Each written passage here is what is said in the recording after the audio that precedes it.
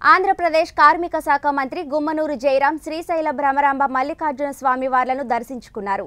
తొమ్మిది రోజుల దసరా శరణవరాత్రి మహోత్సవాల్లో భాగంగా ప్రభుత్వం తరపున మంత్రి స్వామివారికి పట్టు వస్త్రాలు సమర్పించనున్నారు. స్వామి అమ్మవార్ల దర్శనానికి వచ్చిన మంత్రివర్యులకు కార్యనిర్వహణాధికారి కెఎస్ రామారావు అర్చకులు ఘనంగా స్వాగతం పలికారు. అనంతరం స్వామి అమ్మవార్లను దర్శించి ఆశీర్వాదాలను తీసుకున్నారు.